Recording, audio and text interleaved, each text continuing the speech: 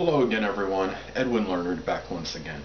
In this YouTube astrological segment, I'm going to be dissertating and talking about the 2014 to 2017 transit of Sagittarius and how I believe it will impact the signs of Libra through Pisces. Now the first sign of course I'm going to talk about is Libra.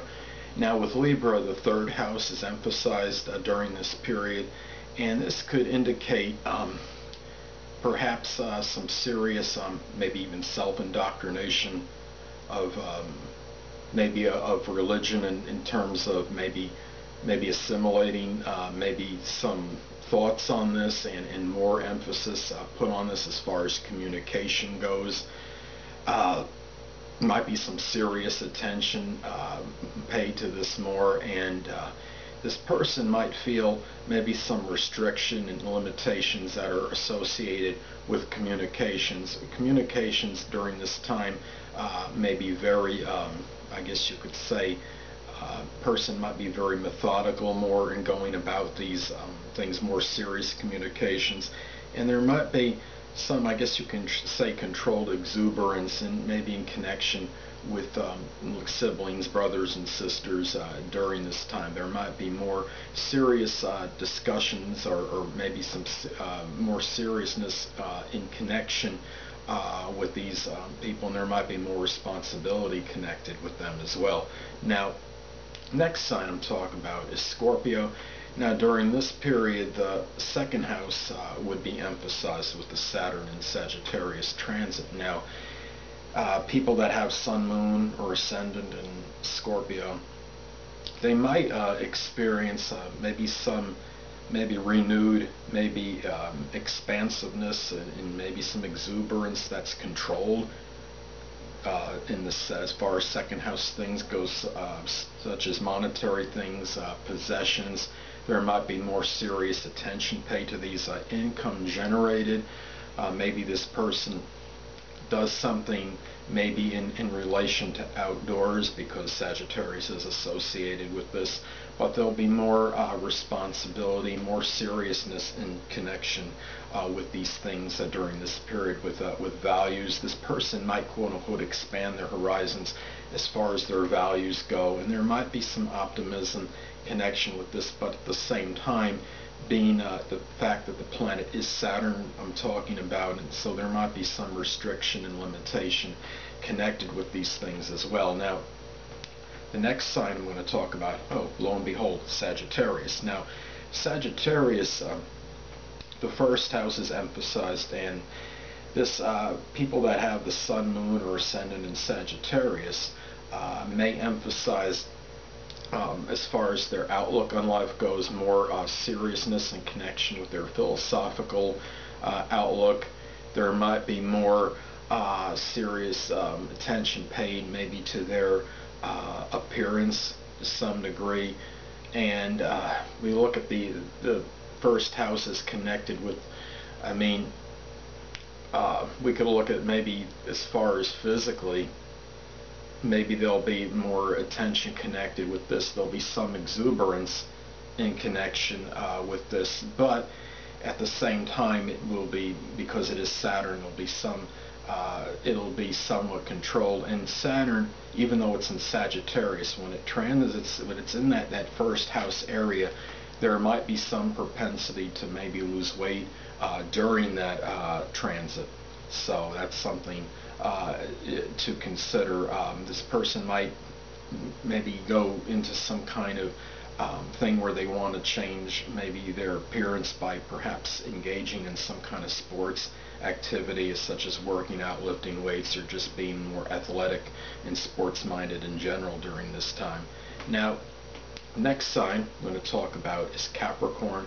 And with Capricorn, uh, the 12th house is what's emphasized during this period.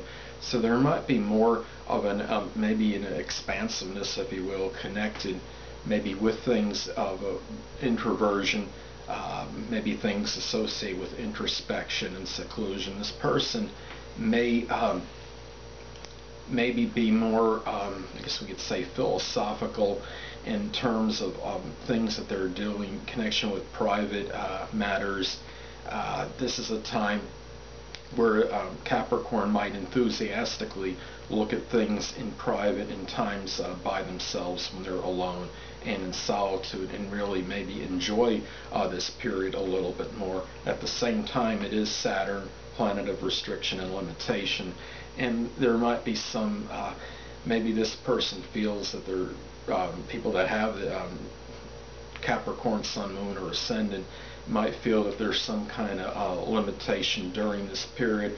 There's going to be maybe a time where when Saturn transits the 12th house, often the person may discard uh, what is maybe somewhat frivolous or unimportant and, kind, and start uh, focusing on um, the things that maybe are uh, important. Saturn a lot of times takes away things that are trivial and are not significant, and this could be very done uh, behind closed doors through self-evaluation during this time. Now, next sign, Aquarius. Now, the sign Aquarius, it's the 11th house that is emphasized, and there may be some serious attention. Um, this is Sun, Moon, Ascendant, and Aquarius, serious attention paid to things that are associated with friendships, goals, aspirations, acquaintances, and uh, organizations. This person may have, um, might feel that there's some more uh, responsibility, maybe connected with the, with the at least one of these matters, and but at the same time do so with exuberance and uh, enthusiasm.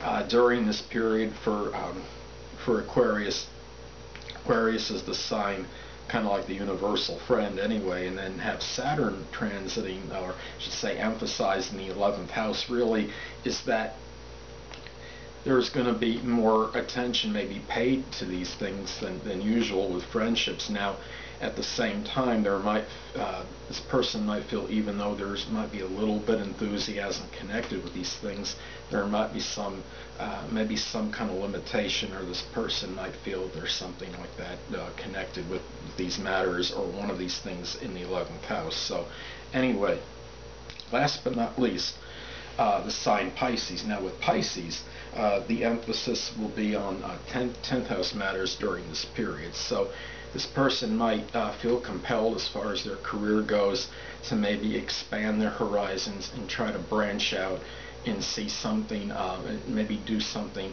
maybe a little bit different, get out of the box, so to speak, but may um, encounter some uh, strong responsibilities and connections with these things and uh, but may do so with more and with ebullience and some kind of, I guess, as I've stated before, the controlled exuberance and enthusiasm, and being able to um, branch out, but realistically branch out. And this is something that we look at um, for this placement for uh, for Pisces for this emphasis on 10th house matters. And and maybe some more attention connected with their public image.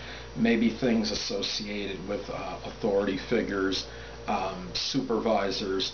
Uh, there might be more emphasis on this right now, and um, in being able uh, to approach matters with these things um, with a little bit more enthusiasm, but control at the same time. At the same time, this is Saturn, planet of restriction, limitation, and maybe this per, uh, people with Pisces, Sun, Moon, or Ascendant might feel a little hampered in this area uh, to some degree as well, though. So anyway that'll conclude this YouTube astrological segment for uh, Saturn and Sagittarius transit 2014 to 17, um, talking about its impact on signs Libra through Pisces.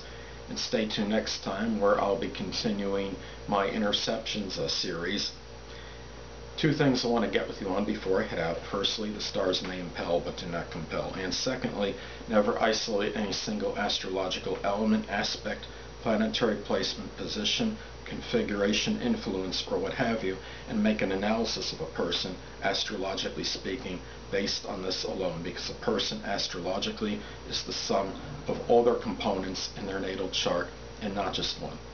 Until next time, people, stay well.